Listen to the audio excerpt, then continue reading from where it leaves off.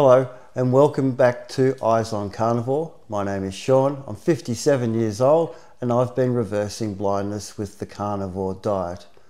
So today I want to talk about oxalates. Now this is something that's interesting to me because in the first six weeks I had oxalate dumping around my ankles, around my shins. It was quite itchy and it seemed to alternate legs from time to time and also was occurring just after meals. So within 20, 30 minutes of eating a meal, I would get oxalate dumping in my, around my ankles. And um, so after about six weeks and um, thereafter I got some more oxalate dumping coming out of my back and they were like a hard crystal that I noticed was like a little lump. Uh, after a couple of days you could scratch it off and feel it with your fingers. It had some um, some powdery sort of feel to it as well. So oxalate crystals and oxalate powder coming out of my back and my ankles. So what I found was very interesting with my eyesight. Of course, it's improved dramatically, but one of the interesting things is that I, I don't get the sleep in the corner of my eyes anymore. Uh, this used to be something that really was, was a daily occurrence for me uh, and my guide dogs. Yeah, my last guide dog, Berry, she suffered a lot with these, uh, this sleep coming out of her eyes. Um, so what I think is going on when I reintroduce some oxalates back in my diet, I notice, and I did this test just in the past couple of weeks, uh, I've noticed that sleep does come back into the corner of my eyes, generally in the morning, but also during the day. Um, I tested just a few high oxalate foods, I don't need to go into which ones. And during this video, we're going to find out all about high oxalate foods and ocular oxalosis. Let's find out more. The hidden dangers in plants. Ever wonder why, despite loading up on healthy greens, you still suffer from joint pain, gout flare ups, or even weird eye issues?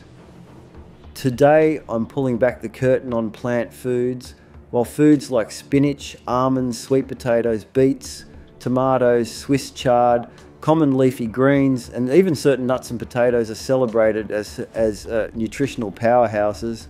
They also hide dangerous toxins, oxalates, that can wreak havoc on your body and your eyesight. And that's exactly why I advocate for the carnivore diet by eliminating these plant anti-nutrients, you can unlock a whole new level of health. What are oxalates? So what exactly are oxalates? Oxalates are naturally occurring compounds found in many plants. Um, you've probably heard of them in spinach, rhubarb, and Swiss chard. Spinach, chard, and beet greens are off the chain high in oxalate and pretty bioavailable. Nuts like almonds, cashews, and peanuts, big problem. They're very uh, used in large quantities. Black and white beans, bran, turmeric, a lot of seeds like chia and hemp, beets, sweet potatoes. I really messed myself up making sweet potatoes my daily starch. Our daily bread was my sweet potato. Oh man, that was a mistake. And the one nobody wants to hear about is cacao or dark chocolate or cocoa powder being very absorbable, used widely in science because you can easily get a volunteer to come in and drink some hot cocoa or eat a piece of chocolate and then see what the oxalate does in the body. Um, so it's very clear that that's bioavailable oxalate and gets into the body beautifully and shows up in the urine and so on. But they're also present in almonds, cashews, peanuts, sweet potatoes, regular potatoes, tomatoes, and and a variety of common leafy greens uh, consumed around the world. Um, in plants, oxalates serve as a defense mechanism against predators. But here's the problem our bodies don't have the enzymes needed to break them down. Instead of being digested, these compounds accumulate in binding with vital minerals like calcium, magnesium, and iron and making them unavailable for our use. The hidden menace. oxalate crystals, and eye damage. One of the most alarming effects of oxalates is the formation of crystals when they bind with calcium. Um, while we often hear about these crystals forming kidney stones, what many don't realize is that they can also affect your eyes. This condition, known as ocular oxalosis, what occurs when calcium oxalate crystals accumulate in the delicate the tissues of the eye, leading to persistent irritation, dryness, and even long term vision damage. Think about that gritty, sandy substance in your eyes when you wake up, what most of us call sleep. Emerging research and countless anecdotes suggest that part of this discharge might actually be oxalate crystals being excreted through our tear ducts. Imagine your eyes suffering daily microcrystal abrasion slowly compromising your vision over time if you've ever dealt with unexplained eye irritation, excessive grittiness, or dryness. Oxalates might be playing a hidden role. It's a real paradox. It's a real crime, actually, that we're ignoring science we've had for a long time. We've known that spinach chelates calcium and can cause calcium deficiency, particularly in infants and children, and absolutely should not be used for children. And yet, right from the get go, people from the medical society said, well, we'll just ignore that because the other greens are fine. And so we'll just pretend that's not happening. And we've been basically getting a very skewed picture of things. And then in more recent times, somebody put out this idea in the 80s that these compounds in petri dishes have these anti inflammatory effects. And we got the notion that plant compounds are great, heroic, anti inflammatory things that protect you from old age, and get in the way of oxidative stress in the body and all this. And it's not how it works at all. And so we've got, we've built this into our culture thinking that these phytonutrients are great and nobody's warned us about the science we've had for 100 years that keeps getting re reconfirmed many times over that oxalic acid is a serious anti-nutrient that causes calcium deficiency and causes electrolyte disturbance in ways that can um, cause long term serious health consequences. How oxalates damage your body. Oxalates cause trouble on multiple fronts. First, they bind to essential minerals in your gut, effectively stealing calcium, iron, and magnesium. Nutrients crucial for strong bones, proper muscle function and energy production. Um, for instance, even though spinach is loaded with iron, studies suggest that up to 95% of it might be blocked by oxalates.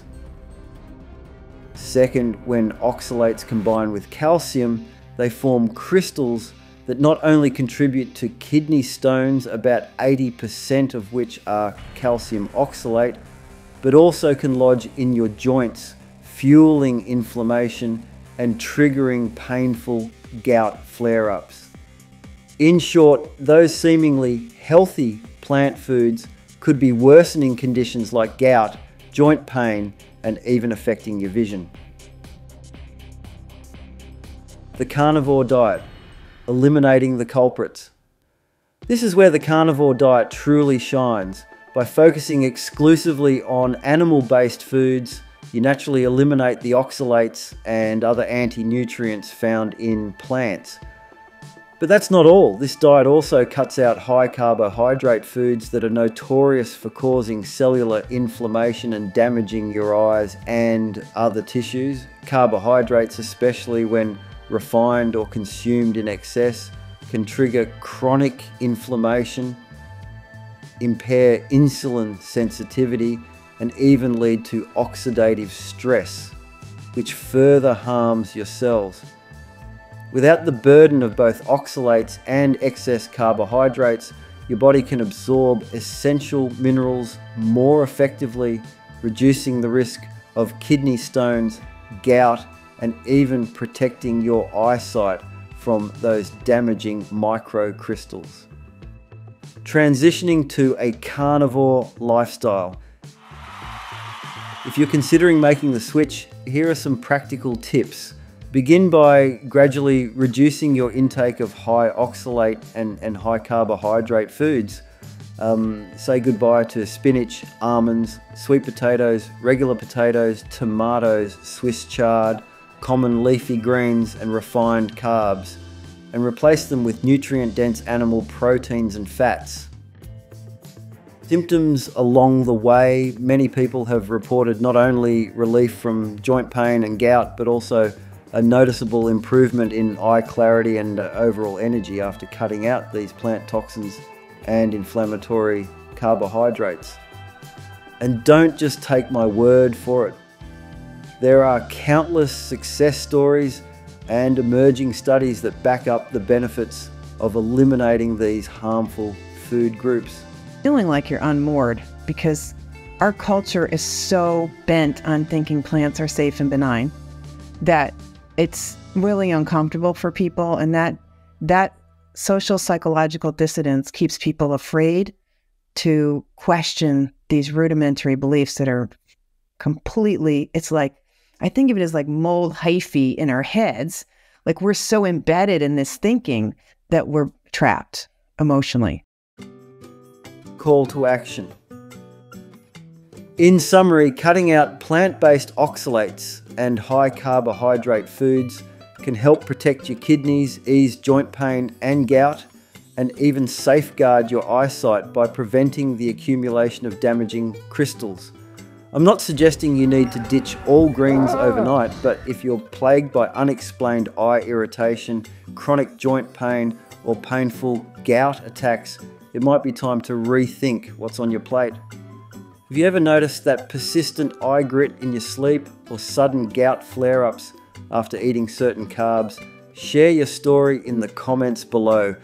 For further information, check out the description below where I've added more resources, including Dr. Sally Norton's work and her book on oxalates. If this video has opened your eyes, literally and figuratively, please hit that like button, subscribe, and join the conversation. Together, we can reclaim our health by making better and smarter dietary choices. Thanks for watching. I'll catch you in the next one.